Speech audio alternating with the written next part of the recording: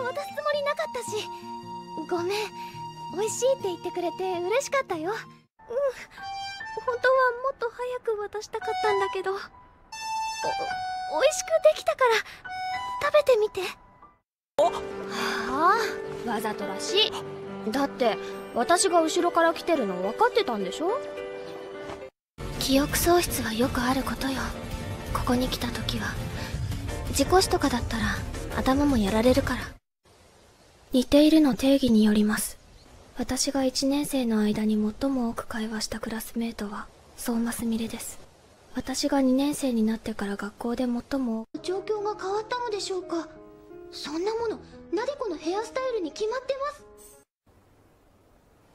す。それでは男子でクラス委員をやりたい人いませんか？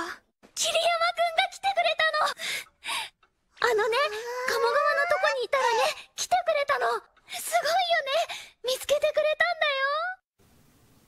んだよな何か用でござるか？何年生の時？担任の先生誰だった？で話って何？そう分かった。かけるの気持ちを知らずに自分勝手で元気づけたかっただけなのに余計不安にさせちゃって本当にごめん。薄手でインナーが透けて見えるんですねラウラはどう？せっかくだから試着してみたら？